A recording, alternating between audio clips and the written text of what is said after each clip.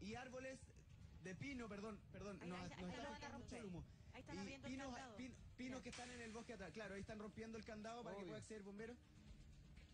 Ahí que Hay dos bomberos que se encuentran al comando de la situación. El carro está por un costado, aún no puede acceder y están buscando la manera más fácil y segura de acceder al lugar de las llamas. Martín, al ¿por qué? del bosque no se ve, pero las llamas siguen propagándose.